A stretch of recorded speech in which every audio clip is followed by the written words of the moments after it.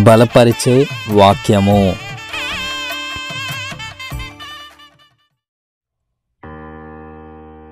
గాఢాంధకార లోయలో నేను సంచరించినను ఏ అపాయమునకు భయపడను నీవు నాకు తోడయుందువు. ఇరవై మూడవ కీర్తన నాలుగవ వచనము. మరణం ప్రతి ఒక్కరికి సహజమే. అయితే క్రైస్తవునికి నిరాశమయ మరణ ద్వారం ఒక నీడ వంటిది.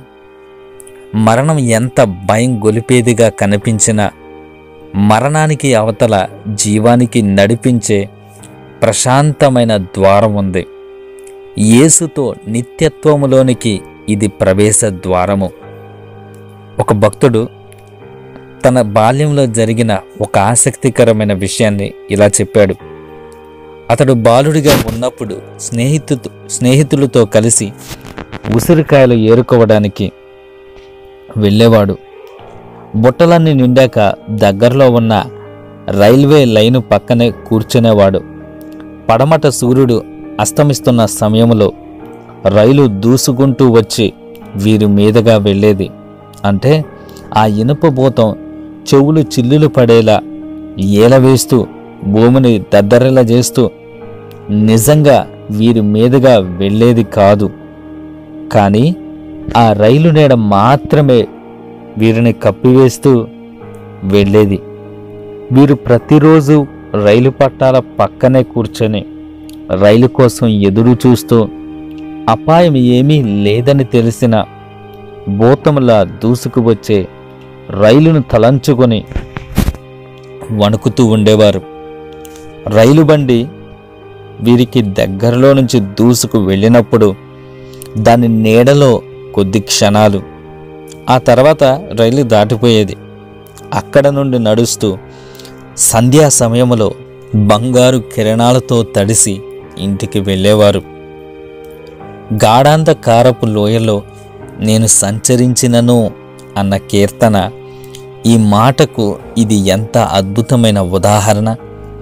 జీవరహితమైన మరణ ఛాయలో మనం భయపడాల్సిన అవసరం లేనే లేదు.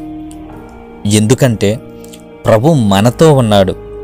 మనతో కలిసి జీవించటానికి ఆయనతో కలిసి మనము జీవించటానికి ఒక గృహం మన కోసం ఆయన సిద్ధపరుస్తూ ఉన్నాడు.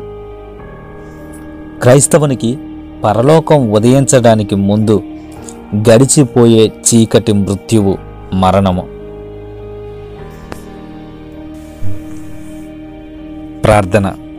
ప్రేమగల మా తండ్రి దయగలిగిన మాదేవ గాఢాంధకారపు లోయలలో మేము సంచరించినను ఏ అపాయమునో రాకుండా మీరు మమ్మలను కాపాడుతూ ఉన్నారు. అందును బట్టి మీకు వందనములు తెలియజేసుకుంటున్నాము ప్రభ.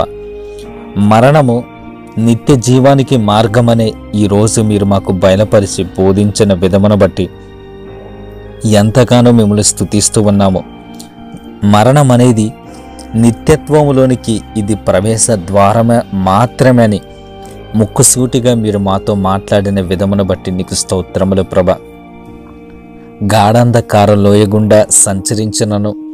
ఏ అపాయము కూడా మీరు మమ్మల్ని రాకుండా కాచి కాపాడుతున్నారని మేము విశ్వసిస్తూ ఉన్నాము. నీ దుడ్డుకర్ర నీ దండము మమ్మల్ని ఆదరించులాగన నీ ఆత్మకార్యము మా జీవితంలో జరిగించమని ప్రార్థిస్తూ ఉన్నాం. ఈ వర్తమానమైన ప్రతి ఒక్క బిడ్డను మీరు బలపరచండి.